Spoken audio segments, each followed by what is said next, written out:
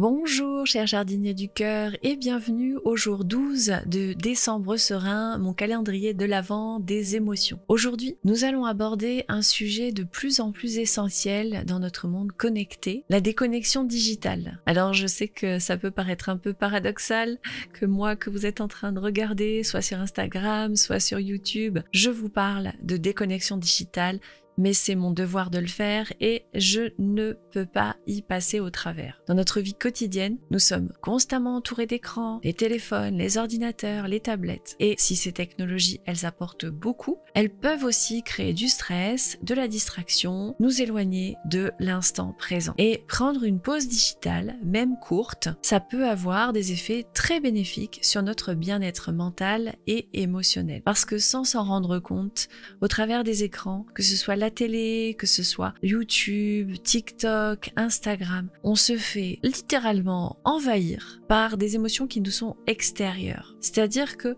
on ne choisit plus ce qui nous arrive et on peut facilement être violé émotionnellement. Et c'est pour ça que j'ai totalement arrêter de regarder les infos sur la télévision classique parce que on ne peut pas choisir les images qui vont venir nous atteindre. On ne peut pas choisir ce qui va nous arriver euh, dans les yeux et dans le cœur. Et ça, c'est un gros problème. Aujourd'hui, je, me pose des questions par rapport à la charte journalistique euh, qu'on peut avoir euh, au journal télé. Donc ça, quand même très compliqué d'avoir en pleine journée, alors que on a des enfants hein, qui sont dans la maison. on peut voir des morts, des drames avec à peine quelque chose qui va être flouté. Et euh, je trouve qu'il y a quand même quelque chose de très compliqué dans le journalisme d'aujourd'hui. On se demande si euh, ce qu'ils veulent pas faire avant tout, euh, c'est de la vue, de provoquer effectivement de l'émotion chez les gens. Mais c'est un problème de provoquer sans cesse des émotions fortes chez les gens, parce qu'à force de voir des choses traumatisantes, on se coupe d'elles et à la fin on n'est plus touché. Et c'est pour ça que sûrement ils sont obligés d'augmenter la barre, de viser plus haut, de mettre des images de plus en plus choquantes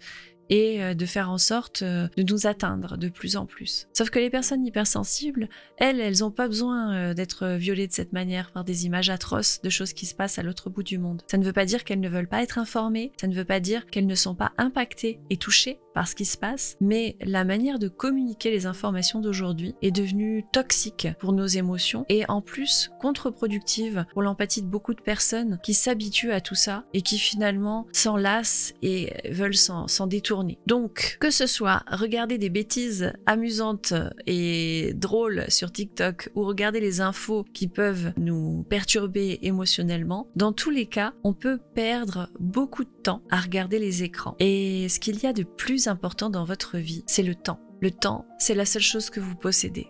C'est la seule chose qui est à vous et vous ne savez pas quand vous n'en aurez plus. Et pour réussir une bonne déconnexion digitale, il faut se rappeler de ça. Le plus beau cadeau de la vie, c'est le temps. Et selon ce que vous faites de ce temps, vous en profitez ou pas. Et quand on est sur des écrans, on a tendance à voir le temps passer très très vite. Et même moi, hein, je me fais avoir. C'est ça le nouveau piège de notre société. Ne perdez pas votre temps. Utilisez-le pour faire des choses qui vous font du bien. Alors, votre mission pour aujourd'hui, c'est de tester une petite déconnexion digitale. Pas longue, je vous rassure, pas toute la journée, mais au moins, fixez-vous une heure, deux heures, trois heures pour vous dire, ok, pendant ce temps-là, je regarde pas Instagram, je regarde pas YouTube, je regarde pas TikTok, je regarde pas la télé. Et que vais-je bien pouvoir faire alors?